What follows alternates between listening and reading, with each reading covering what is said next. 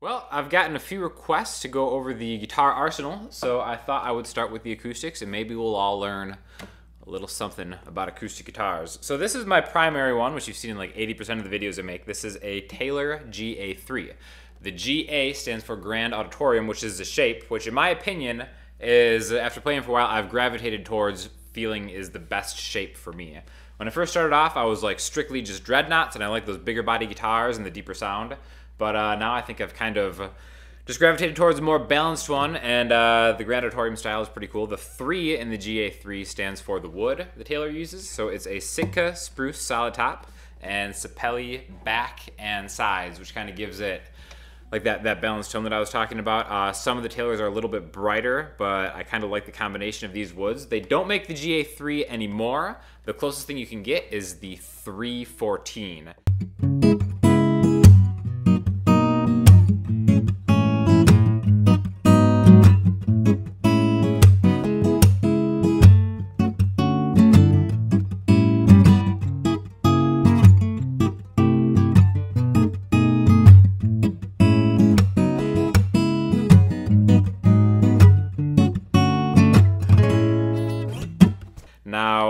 Thing that some people kind of don't like, but I really like, is that it doesn't have a cutaway. It's a full bodied one and also doesn't have electronics. Uh, guitar, acoustic guitar electronic pickup systems is kind of like my sword to fall on. I'm not a big fan of really any of them with a few exceptions, but I always, always prefer the sound of a microphone acoustic guitar to like a quarter inch pickup system. Uh, I, I realize that there are some situations where it's kind of impossible not to use a quarter inch, but that's just my own personal thing. So for my primary guitar, the Taylor stays in tune all the time. I've had it for probably four or five years now. I've never had to get it set up once. Uh, the quality control of Taylor is just fantastic. Full solid wood guitar, no electronics, all natural, organic, makes me feel the music that much more. Taylor GA3. So I guess the opposite of the Taylor is this Cordoba 55FCE. So I knew I wanted to get kind of a, a nylon string guitar to complement uh, the steel string, like the Taylor. And this is just like one of my favorite nylon string guitars that Cordoba's ever made. Uh, the Gypsy Kings use one just like this. It has a European spruce solid top and flamed maple back and sides, which I think is like really gorgeous. Uh, so yeah, this is probably a the prettiest guitar I have. Now, it's more of a flamenco style guitar. Uh, you can tell by the, the body, the, it's, a, it's really thin, light guitar. It has the kind of flamenco pick guard type thing going on here. Not the greatest flamenco player in the world, but I really like it because it's so much easier on your hands as like an alternative to something else. You can be a lot more flexible with uh, kind of like how you play a nylon, and it just has a different feel. So definitely, if you've never played a nylon string guitar, check it out because it's a whole world of difference, which you might like, you might not like, but it's good to be able to go both ways.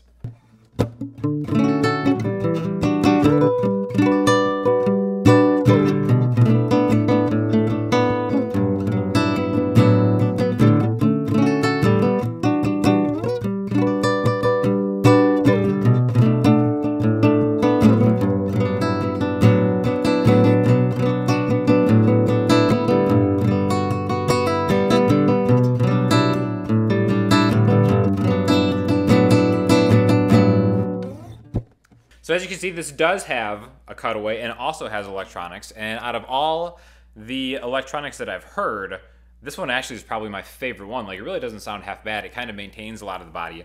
And I'm not really hating on electronics just in general, but I always kind of feel you lose a little bit of the body and the warmth of anything when you go that way. That's why I always prefer mic stuff. A lot of people do kind of like a hybrid setup, where they'll mic it and they'll go direct out.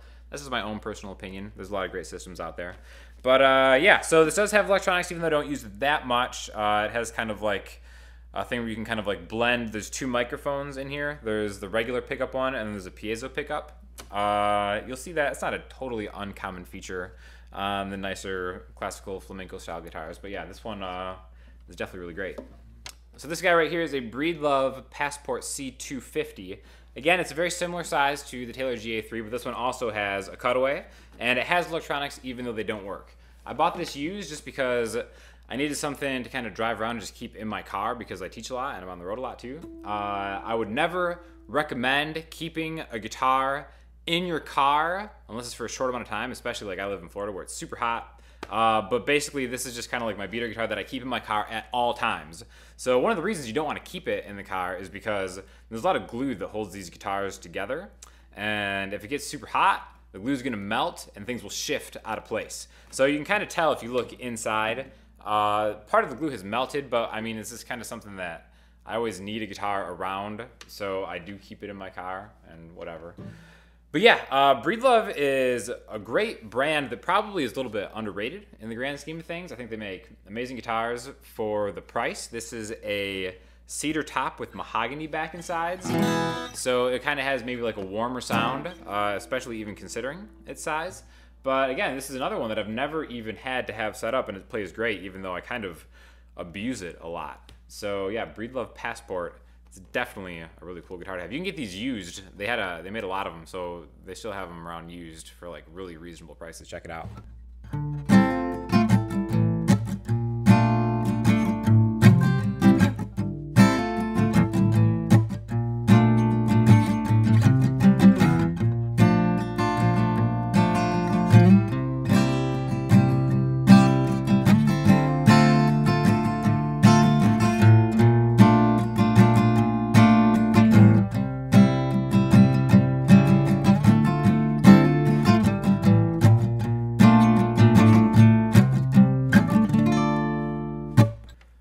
Other Cordoba guitar I have is the C7. Uh, this is a really cool one, and the story behind this is I was teaching guitar lessons at this guitar shop, and it was a cool situation for me because I could get stuff at cost, whatever the guy got in, and I really had no intentions to buy a full-bodied classical guitar because I had the 55 FCE, but I was sitting down waiting for a student to get here, and I just played this.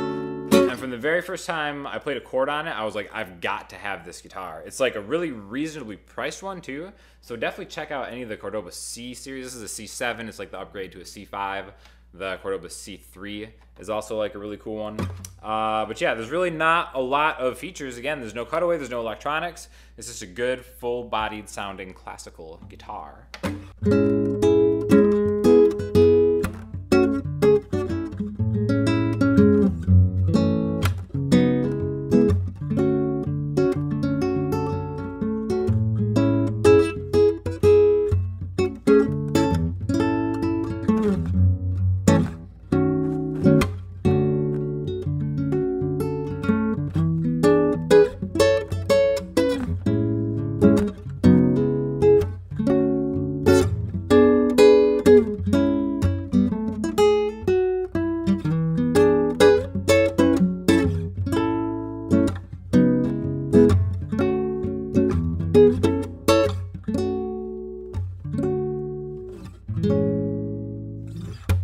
No collection would be complete without a Martin, and this is a 0018. Now, this is technically a vintage guitar, and the story behind this is that it was like my great uncle's who had it, never really played it. He got super old to the point where he couldn't even play it. It's really just sat in a case forever. He heard I was like getting into more guitar stuff, and uh, he just gave it to me, so it's pretty sweet. Now, one thing I want to talk about vintage guitars is that there's a lot of people think that vintage is always better, right? And in a lot of ways it is. Usually, uh, if it's well made and it's made of good tone woods, the woods will open up and it'll sound better the older it gets, right? Some of the best guitars I've ever played were vintage guitars. They're like I played a 19, 1963 Gibson Hummingbird, which is an amazing guitar. I regret not being able to get it at the time. I played like a 1980 Martin D35, which is one of the best guitars I ever played.